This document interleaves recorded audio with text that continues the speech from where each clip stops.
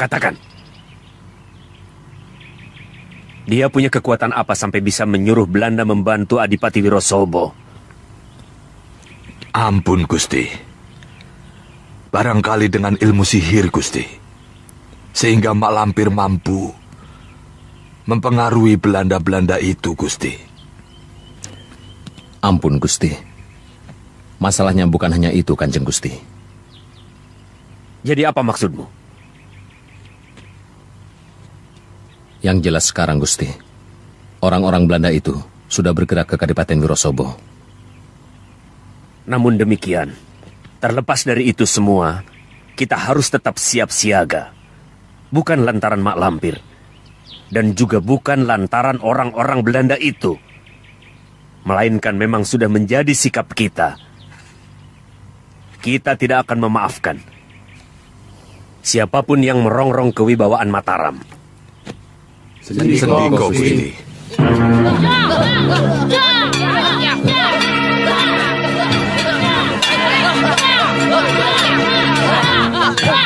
Dia itu bidara.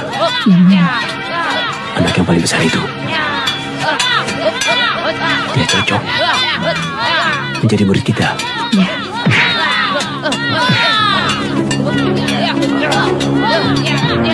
Eh, เ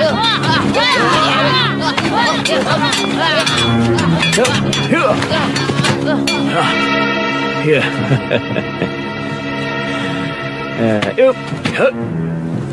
เฮียเฮียเฮีย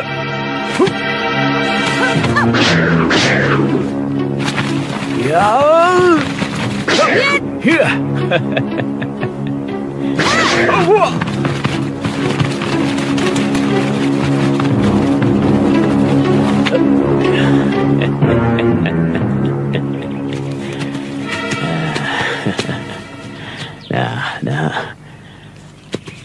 Aku Kiai Jabat dan ini Nyai Bidara.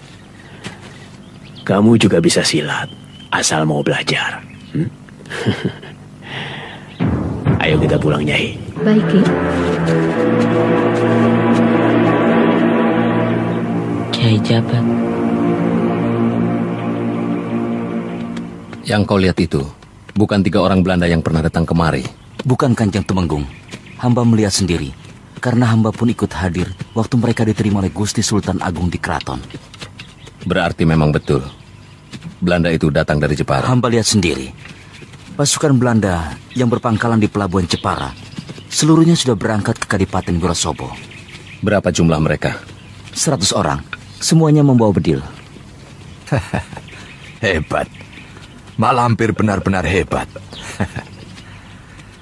Belanda yang selama ini selalu merasa dirinya lebih pintar, lebih kuat, dan lebih maju dari bangsa kita. Ternyata bisa dikelabui hanya oleh seorang nenek gembel. dan mereka mengerahkan seluruh kekuatan untuk membantu Kadipaten Wirosobo. Pasukanmu berada di mana? Di Alas Nom. Di Alas Nom? Dekat perbatasan Kadipaten Jepara, sebelah selatan. Kalau begitu, awasi mereka. Sendiko Gusti. Di mana pasukan Belanda berkemah? Di lembah Bukit Parangan.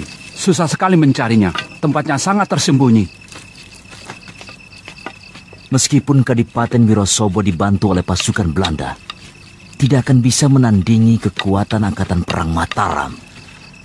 Tapi apa benar Punggawa? Belanda yang hebat itu bisa bertukuk lutut pada Malampir. Yang hanya perempuan gembel. Hmm, hanya kebetulan saja. Kebetulan.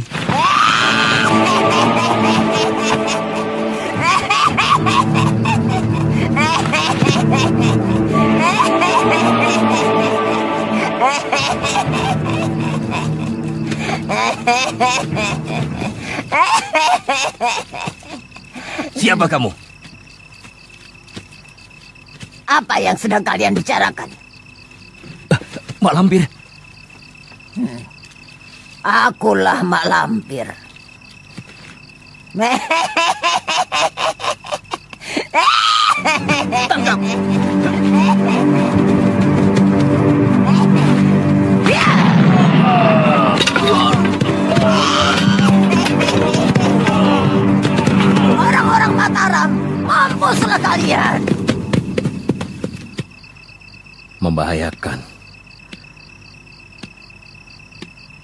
Adipati Wirosobo, betul-betul jumawa. Sekarang bagaimana?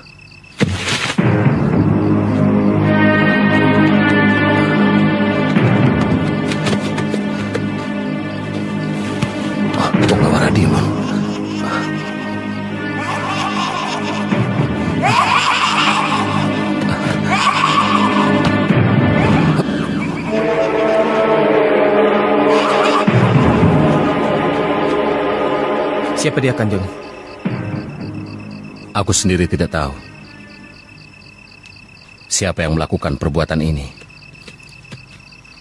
Tapi, kalau mendengar dari suara tawanya, seperti mengandung kekuatan gaib. Kekuatan gaib. Maksud Kanjeng? Iya, dia itu bukan manusia biasa. Sekarang ini, kita sedang berhadapan dengan orang yang menggunakan kekuatan iblis. Bagaimana Punggawara Dimun? Jenazahnya sedang dimandikan, Kanjeng. Makamkan dia sebagaimana prajurit yang gugur dalam melaksanakan tugas. Sendiko, Kanjeng. Pakai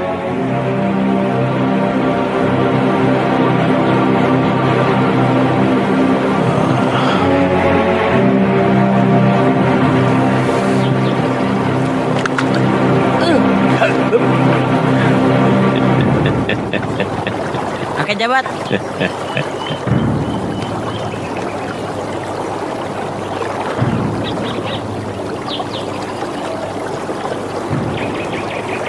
Nenek Bidara mana, kek? Dia tidak ikut. Kenapa tidak diajak, kek? Sembara kan ingin ketemu.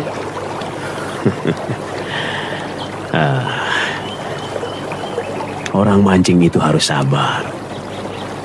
Kalau tidak sabar, tidak akan dapat ikan. Memangnya kakek pintar mancing?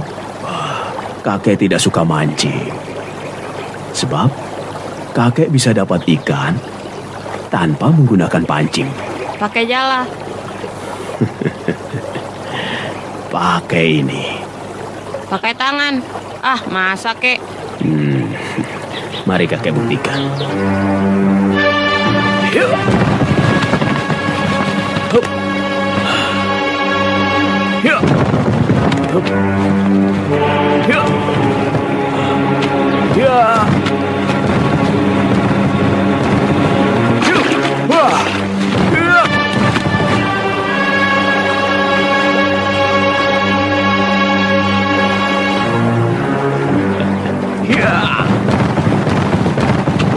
Hup.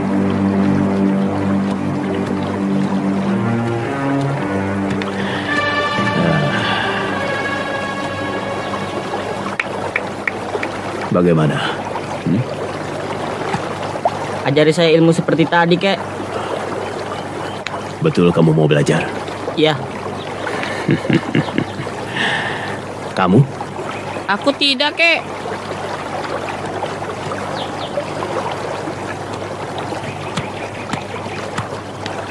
Sembara, kamu jangan gegabah. Dia kakek jahat, tukang culik. Tukang culik? Kamu akan dijual. Ah, kamu jangan buruk sangka. Bagaimana, kek? Hmm,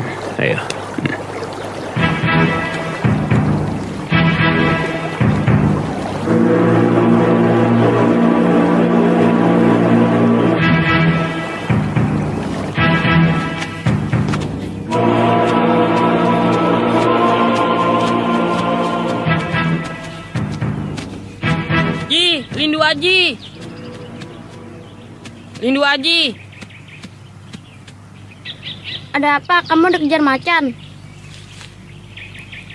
Ah, masa? Betul, Ji. Sembara diculik oleh kakek jabat. Ah, masa? Kakek jabat yang kemarin sama nenek bidara? Ya, Tak mungkin, itu kakek dan nenek yang baik, bukan penculik. dari mana kamu tahu mereka bukan penculik? Hmm, Ayo, ikut aku ke rumah Sembara. Beritahu maknya. Mak, saya tidak jadi ikut ke rumah paman. Loh, kenapa, Ci? Mau menyelamatkan teman yang diculik. Diculik?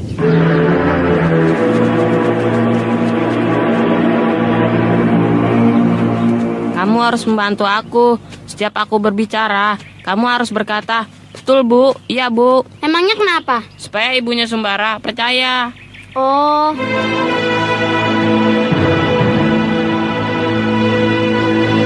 Mariama. Sekarang aku duda.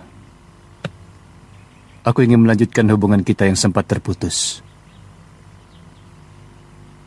Aku kehilangan istri. Kamu kehilangan suami. Aku punya anak satu, Farida. Dan kamu juga punya anak satu, Sembara. Mungkin Tuhan sudah mengatur semuanya bahwa kita harus berkumpul menjadi satu keluarga. ayo cepat bilang. Kamu. Kamu. Kamu aja. Anakmu dan anakku saling menyukai. Karena itu kita bisa membesarkan anak kita bersama-sama. Bu. Bu, Bu Mariama. Bu Mariama. Bu Mariama. Ada apa? Ada apa, Aji? Bu, Sembara diculik. Diculik? Ya, Bu. Betul, Bu. Bu, kita harus mencari. Betul, Bu. Kita harus mencari.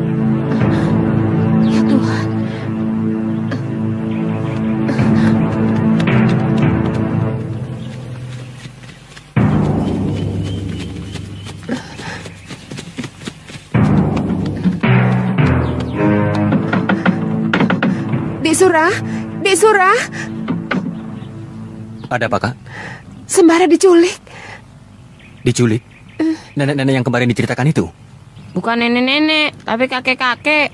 Kemarin nenek-nenek. Sekarang kakek-kakek. Tolong disurah, tolong. Tenang. Perkara begini, jangan gegabah. Kalau panik, malah jadi tidak karuan. Mari, biar aku yang mencari.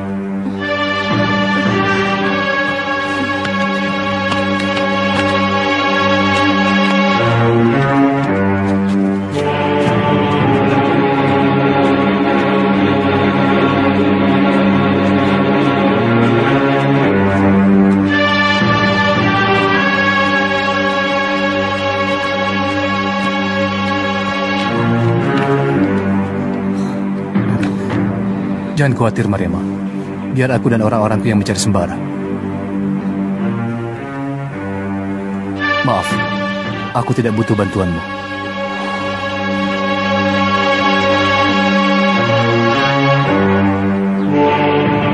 Kenapa menanam pohon pisang, kek? Pohon pisang sifatnya sangat baik untuk ditiru. Ia akan mati sesudah mengeluarkan buah. Berapa kali pun pohon pisang akan ditebang, dia akan tetap tumbuh sebelum menghasilkan buahnya. Saya harap kamu seperti pohon pisang ini sesudah kamu punya ilmu. Iya, kek. Bagus.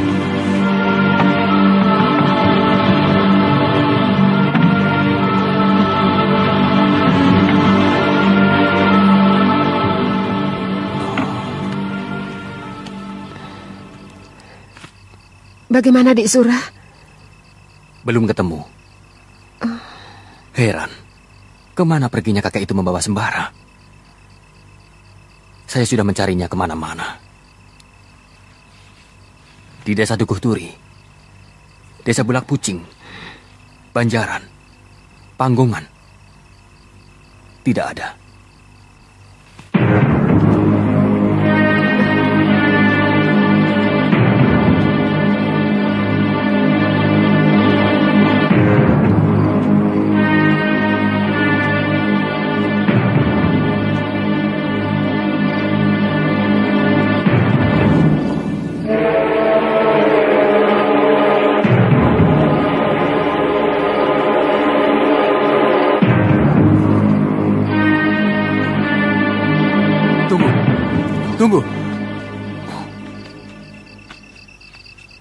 Aku peringatkan kamu.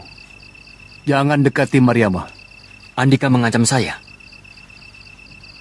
Kamu masih muda. Banyak perawan. Kenapa harus dengan janda?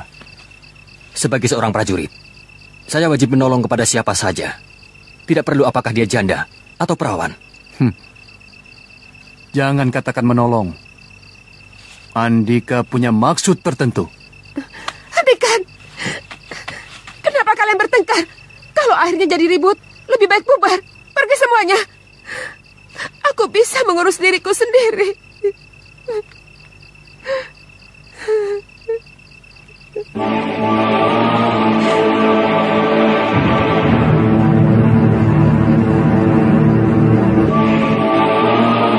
Ilmu itu ada dua macam. Ilmu yang datang dari langit dan ilmu yang datang dari bumi. Bedanya apa, kek? Eh, bedanya adalah ilmu yang datang dari bumi adalah ilmu yang diciptakan oleh manusia untuk kerusakan. Contohnya apa, kek? Seperti teluh, santet, guna-guna, dan lain sebagainya. Kalau contoh yang lainnya? Dalam diri manusia terkandung kekuatan yang dahsyat. Melalui latihan-latihan tertentu dan Topo Broto, seorang manusia bisa menjadi hebat luar biasa.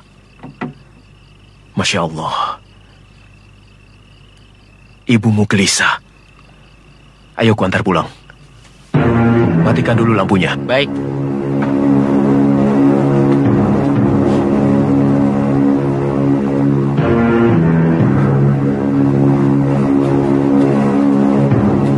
Sembara, ayo cepat. Kakek punya kuda. Kakek bisa lebih cepat dari kuda. Apa iya, kek? Ayo naik.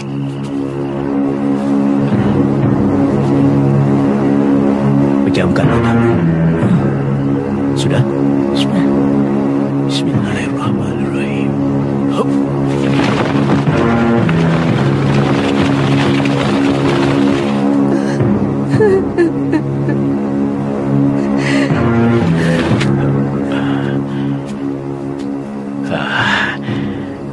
Sekarang bukalah matamu. Sudah sampai, kek? Lihat, rumah siapa ini? Rumah saya. Mak. Mak. Mak. Sembara, Mak. Sembara. Mak. Mak. Sembara anakku. Jangan nangis. Sembarang nggak apa-apa.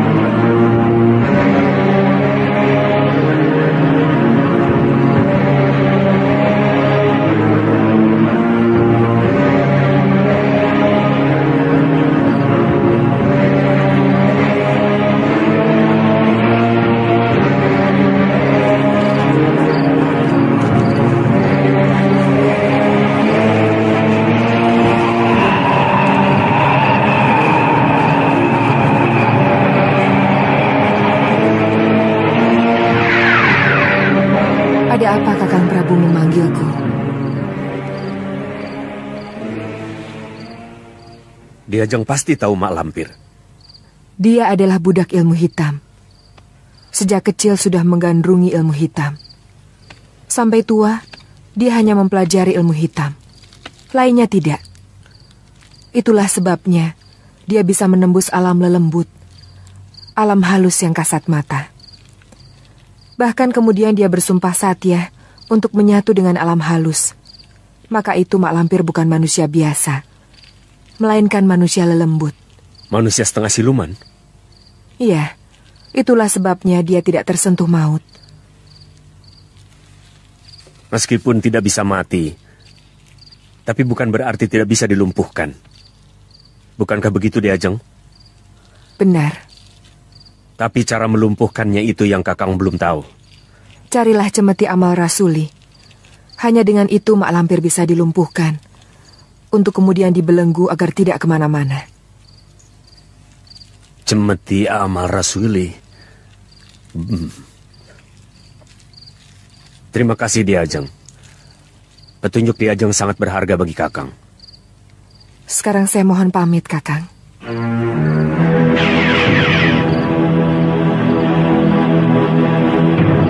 Memang masalahnya cukup berat.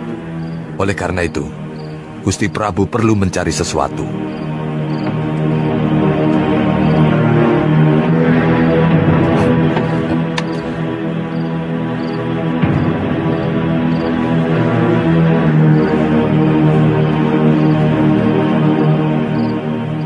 Mak Lampir hanya bisa dikalahkan oleh Cemeti Amal Rasuli. Hah? Cemeti Amal Rasuli. Cemeti Amal Rasuli. Tumenggung Surotani. Aku tugaskan mencari Cemeti Amal Rasuli.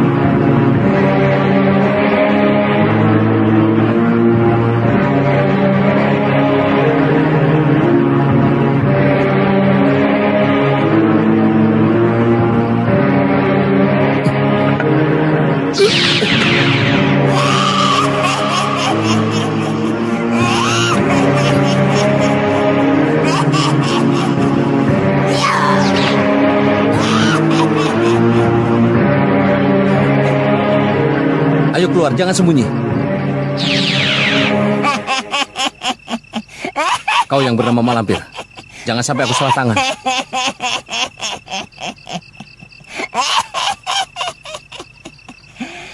Benar Kanjeng Tumenggung.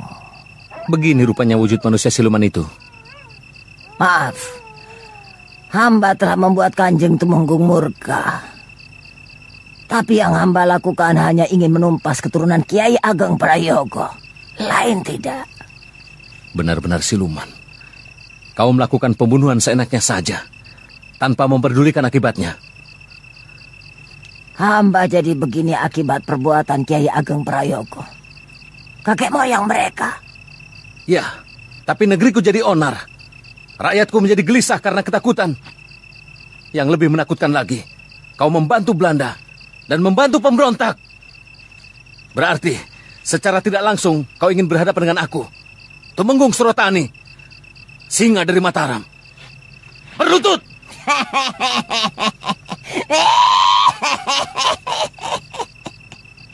Aku hanya berlutut kepada Batari Durga. Berarti, kau menantang aku. Jin setan, dan demit sekalipun. Aku ladeni. Yeah.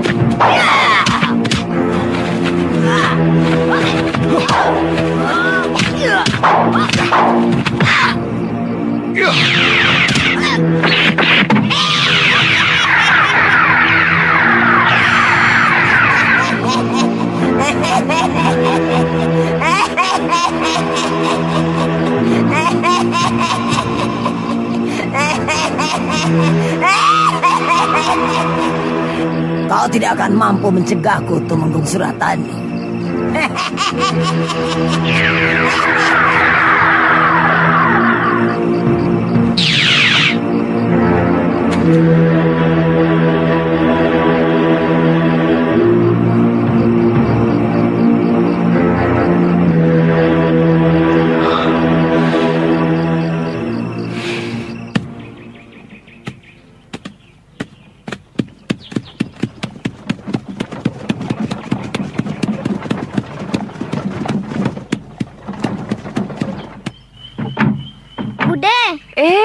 Farida. Ayahmu ada? ada di dalam. Bude, mana? Katanya Bude mau ngasih Farida anak ayam. Nanti kamu ikut ke rumah Bude. Kamu bisa pilih anak ayam yang kamu suka, ya? Benar ya? Iya.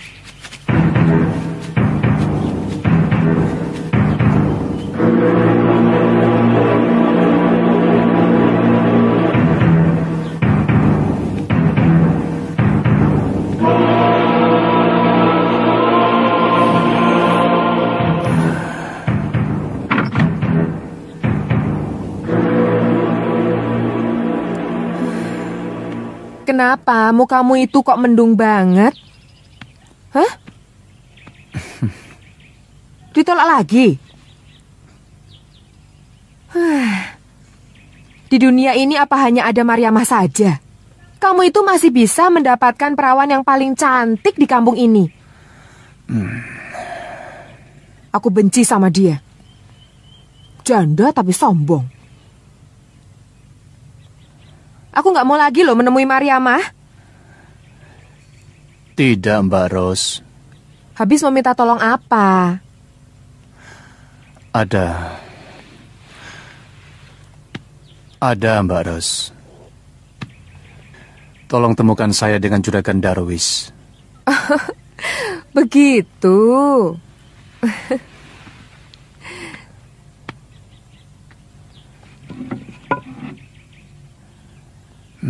Mau pinjem uang? Iya, Mbak Ros. Saya butuh modal buat mengembangkan usaha.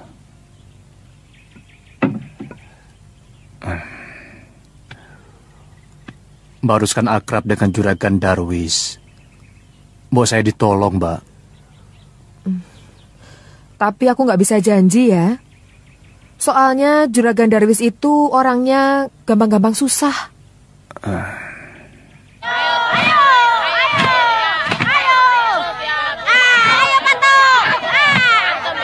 Ayo, ayo cepat kejar. Ayo.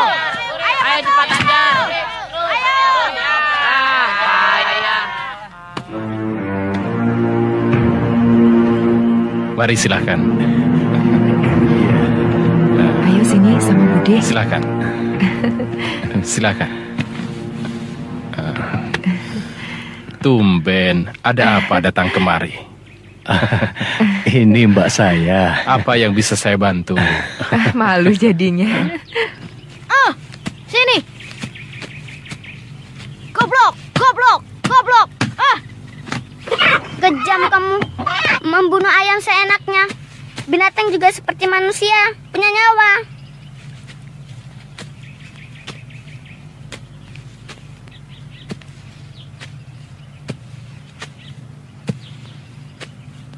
Ayo banget kamu.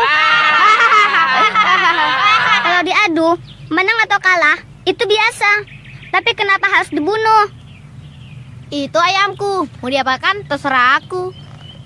Tidak punya belas kasihan. Punya. Di mana? Di sini.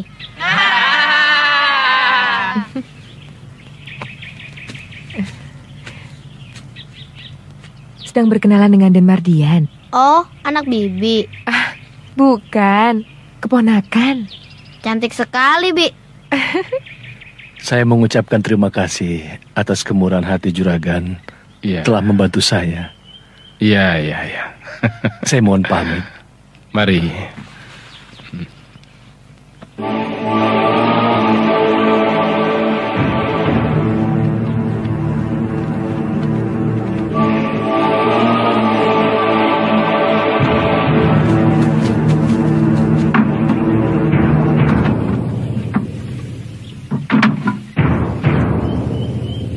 Mari.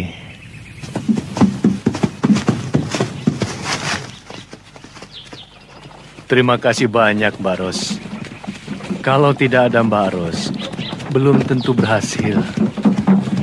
Karena yang saya dengar, Juragan Darwis itu pelit. Juragan Darwis itu memang pelit kalau sama orang lain. Kalau sama aku ya ndak toh. Juragan itu baik ya Bude. Malah tadi Farida lihat Bude dikasih uang sama Juragan.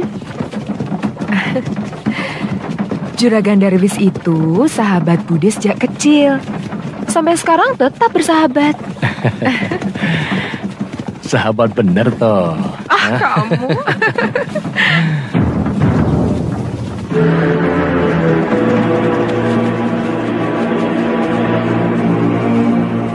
Kejadian tadi malam adalah bukti nyata bahwa Mak Lampir memang siluman.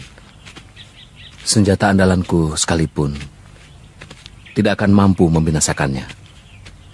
Mak Lampir tidak bisa dibinasakan, tapi bisa dilumpuhkan. Ya, benar. Gusti Sultan Agung juga berkata seperti itu. Aku disuruh mencari senjata pusaka cemeti amal Rasuli.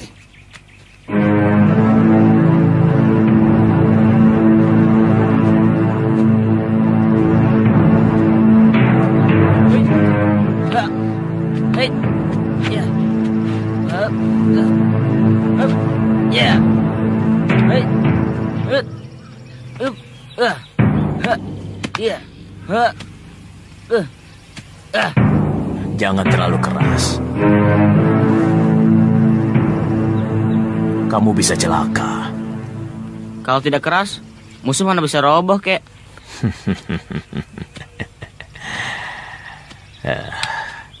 Pukulan yang keras bukan berarti gerakan tanganmu harus keras, tapi tenaga pukulan yang keluar dari tanganmu. Sedangkan tangan harus tetap lentur. Pedang, tombak, keris, dan pisau. Semuanya keras, tapi mudah dipatahkan. Tapi selendang, cambuk, rantai, tidak mungkin bisa dipatahkan. Lalu, kenapa orang lebih suka memakai pedang, tombak, keris, atau pisau? Pasukan Mataram semuanya memakai pedang dan tombak.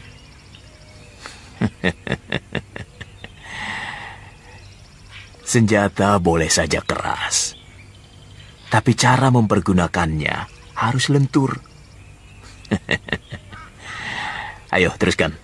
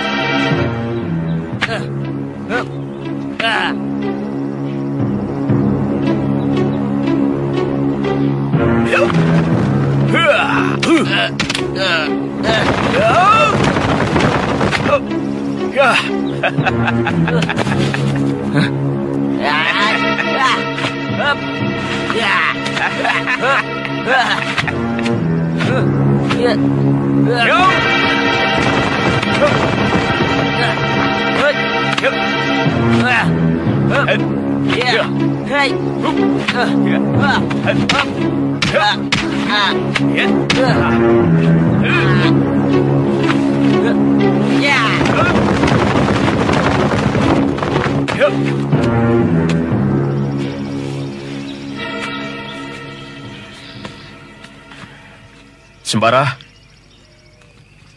kemari.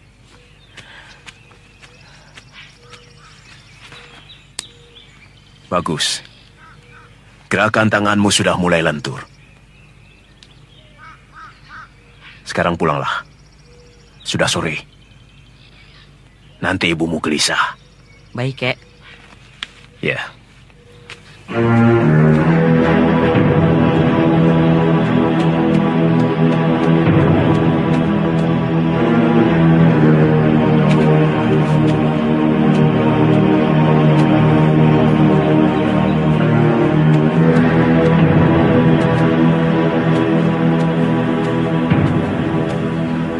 Assalamualaikum. Waalaikumsalam. Ah, mari, silahkan Kanjeng Tumenggung. Ya, terima kasih.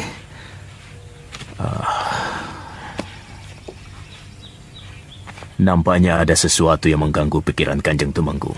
Ya, persoalan yang sama. Mak Lampir, Kanjeng Tumenggung bertarung dengan Mak Lampir. ya, dan saya kalah. Ah, ya, ya. Kanjeng Tumenggung belum bisa dibilang kalah.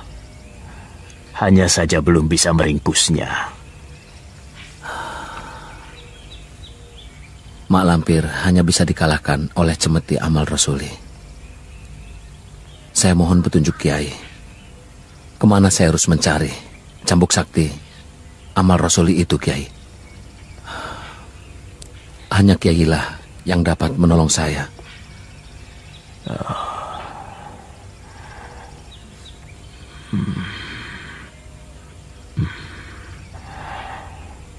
Kanjeng Tumenggung harus pergi ke Padepokan Cemoro Kuning. Di lereng Gunung Merapi.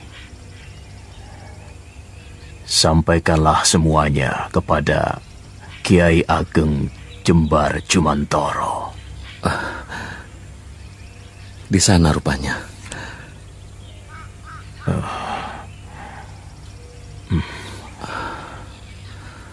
Kanjeng Tumenggung akan melewati hutan larangan.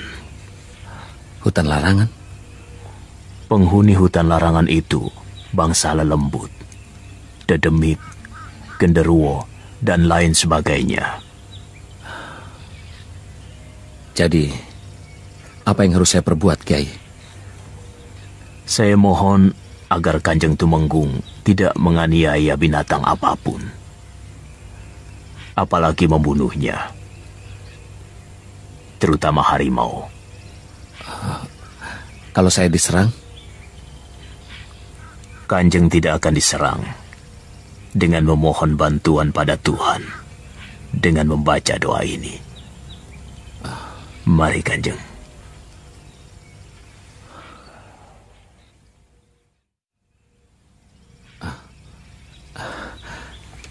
Terima kasih, Kiai.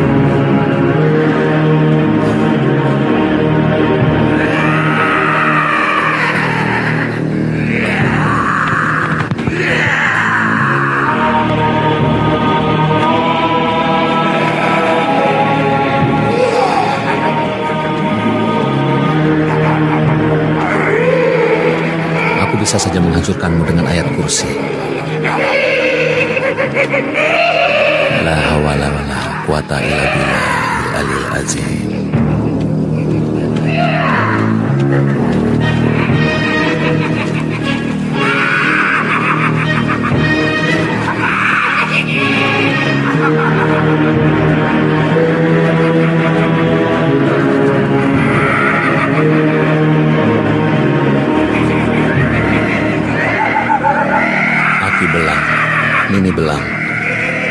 Ingsun kawulani, sing Joko awang-awang. Konco rukete, Kyai Jabat.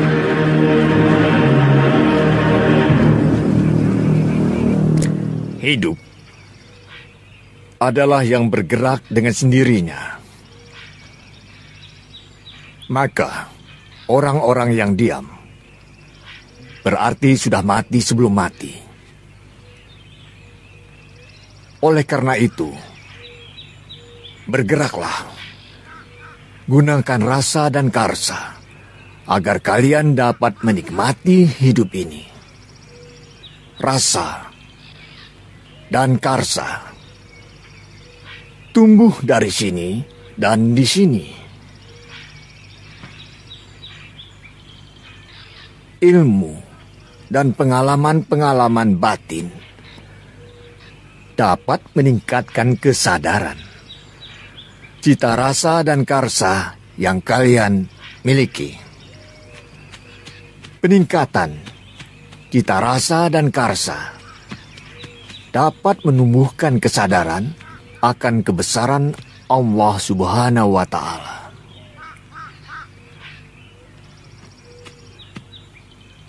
Wani, Sendiko Kiai. itu pembesar dari Mataram. Persilakan ke pendopo.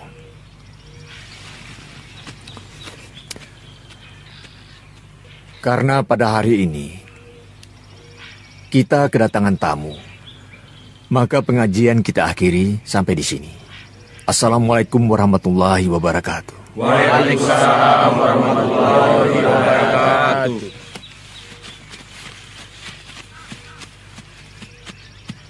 Kanjeng dipersilakan menunggu di pendopo. Silakan Kanjeng.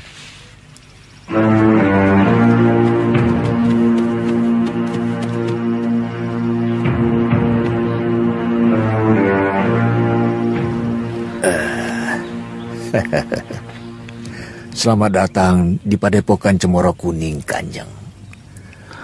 Kami merasa mendapatkan kehormatan atas kunjungan Kanjeng kemari. Terima kasih, Kiai. Hmm. Mohon maaf sebelumnya, Kanjeng Temenggung. Apakah Kanjeng kemari ada suatu keperluan atau Kanjeng eh, Saya datang kemari, Kiai, mengemban titah Gusti Sultan Agung. Kalau boleh saya tahu, titah apa yang diberikan Gusti Sultan Agung sehingga Kanjeng datang kemari? Ah, saya mencari cambuk sakti, cemeti amal rasuli. Kiai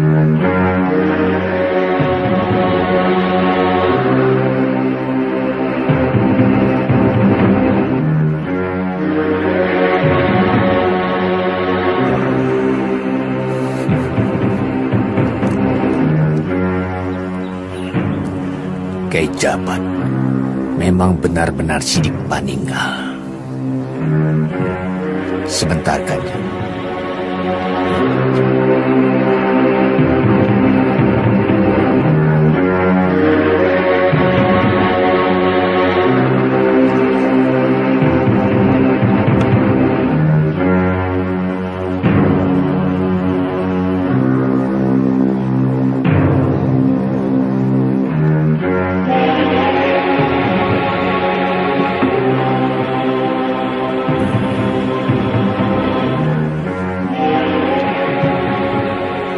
Cemeti amar rasul yang Kanjeng Temenggung cari itu.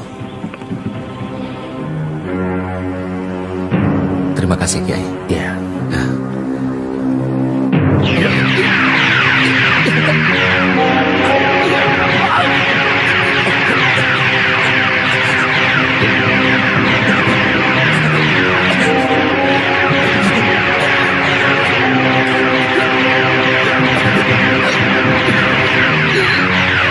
Ya. Saya tidak bisa mengangkatnya, Kiai. Bismillahirrahmanirrahim.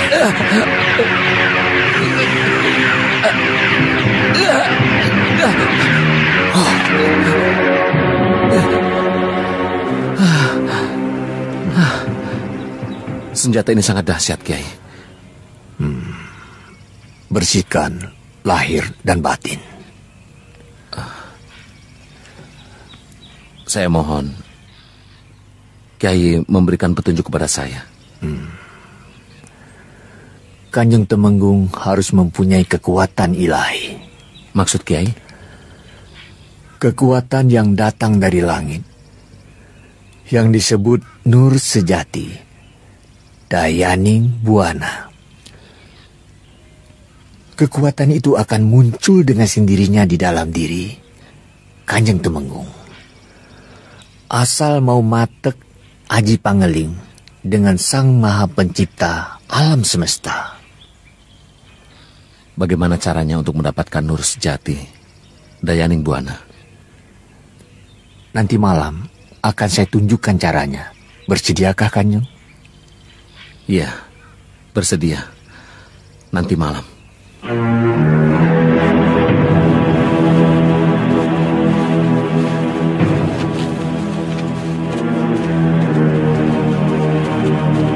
Terima kasih, Kanjeng. Terima kasih, Kanjeng. Amal baik sesama manusia adalah rasa eling kepada Gusti yang menciptakan alam semesta. Maukah sederek-sederek melakukan eling kepada Allah Subhanahu wa taala? Mau. Yang tua harus mencintai yang muda. Dan begitu juga yang muda harus mencintai yang tua. Rumahnya di mana, Mbok? Di sana jauh. Saya bantu ya, Mbok. Terima kasih, Kanjeng. Ya Allah, Gusti yang Maha Welas Asih, hamba yang lemah, berikanlah hamba kekuatan ya Allah untuk memusnahkan kejahatan yang merajalela di bumi Mataram ini. Kabulkanlah ya Allah. Allah,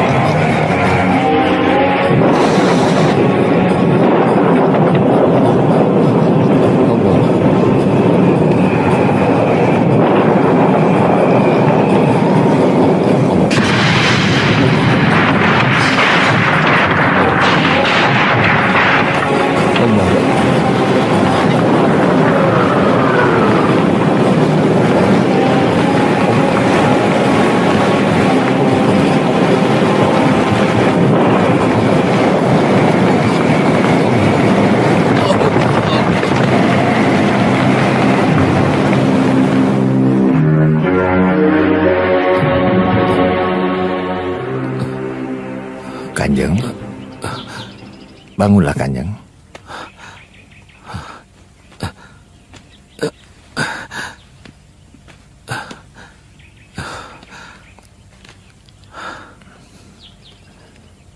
Hmm. Sekarang Kanjeng Temenggung sudah bisa memiliki cemeti amar rasul ini. Silakan.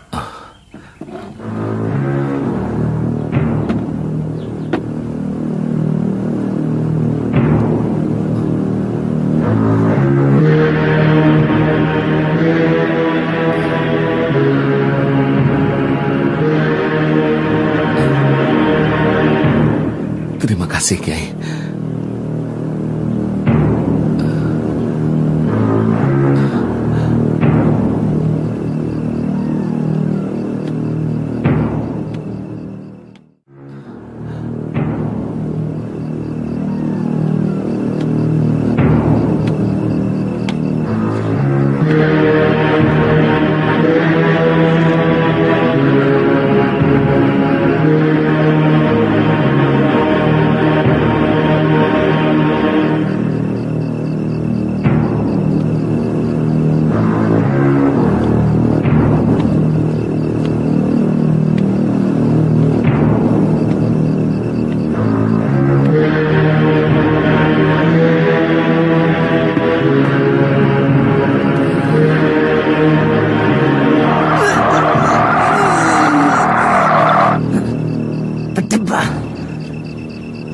Pasti ulah si Bidara.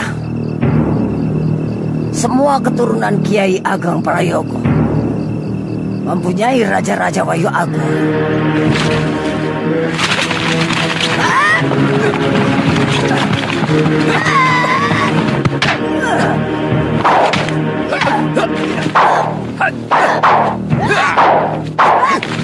Ya! Ya! Ya!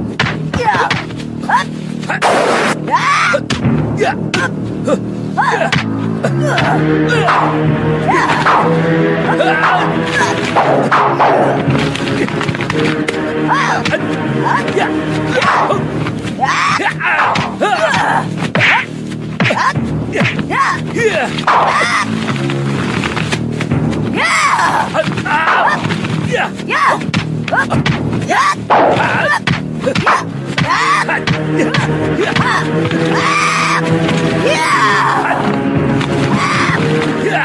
Ha!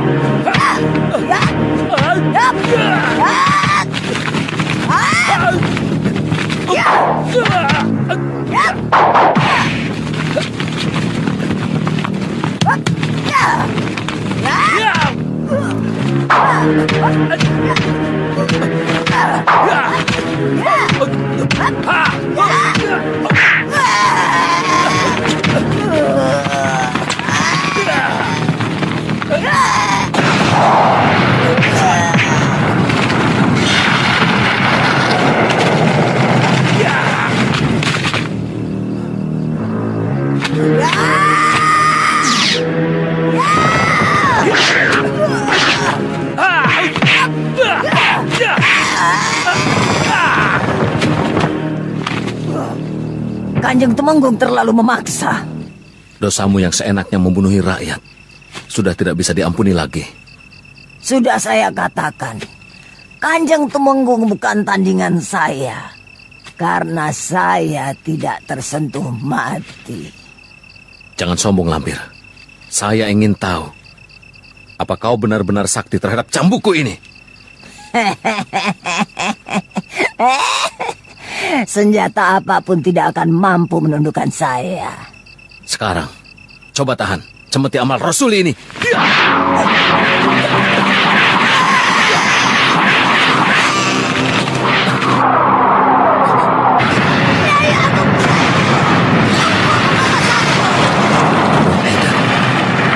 Aku ditipu mentah-mentah.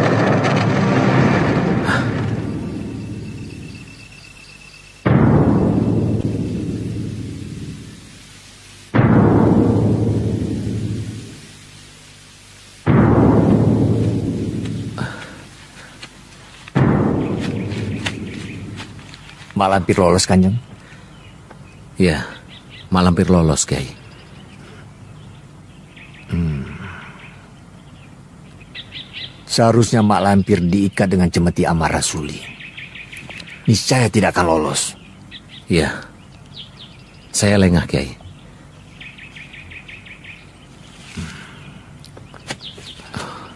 Sudahlah. Tidak usah bersedih hati.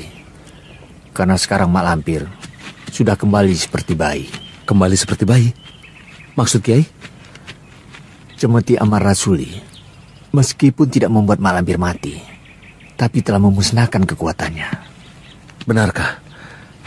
Sekarang Mak Lampir sudah tidak punya kekuatan apa-apa lagi? Benar. Ia membutuhkan waktu yang lama untuk memulihkan kekuatannya dan mengembalikan kesaktiannya. Iya. Mak Lampir masih berada di Mataram.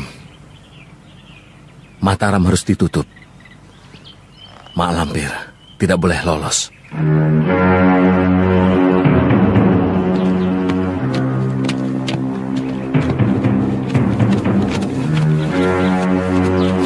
Bagaimana? Ada Mak Lampir? Tidak ada, Kang. Ayo cari. Ayo, ayo.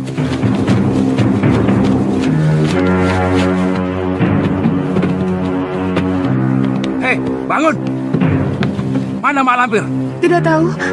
Tidak tahu, Ndoro. Eh, geledah. Ayo. Ya. Masuk.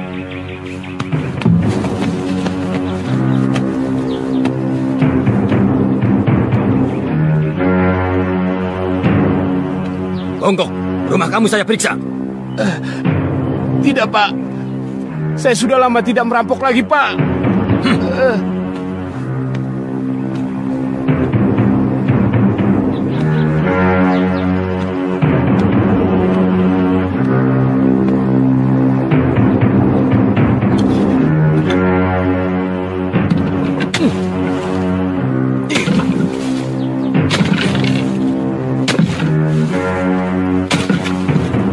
eh, percayalah, di sini tidak ada siapa-siapa.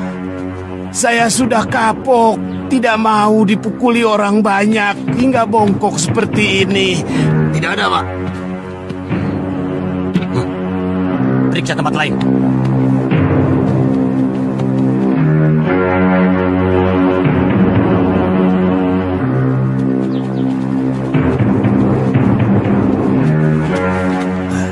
Aman, Nyai. Mereka sudah pergi jauh. Turunlah, Nyai. Selamat, Nyai. Benarkah mereka sudah jauh? Benar, Nyai. Nyai mau ke mana? Ke mana saja. Yang penting keluar dari Mataram. Eh, amat sulit, Nyai. Tentara Mataram berkeliaran di mana-mana. Semua pintu keluar sudah tertutup rapat. Eh, kenapa Nyai tidak menggunakan ajian Halimun? Bukankah Nyai bisa menghilang? Semua ilmu kesaktianku musnah. Sekarang aku tidak punya kekuatan apa-apa. Aku membutuhkan tempat aman untuk memulihkan kekuatanku. Kalau aku menolong Nyai, upahnya apa? Hmm, aku ajari kau ajian Beraja Musti. Eh, ditambah ajian Halimun, Nyai. Supaya aku menjadi maling yang paling sakti.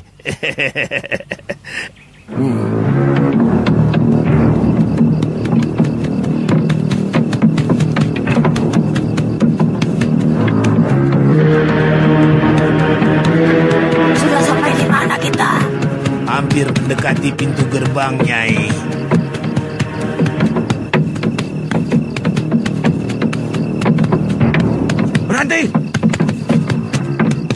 Mau ke mana? Ke kuburan.